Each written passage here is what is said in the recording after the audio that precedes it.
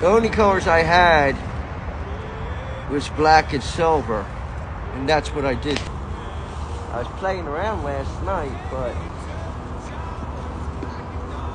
that's the effect I was giving it. At the same time, since Jesus was special, I made it like he's almost like he's glowing. He brought the light to that room. Yeah, nah, it, it, turned, it turned out nice, bro. It did. It turned out nice. Thank you.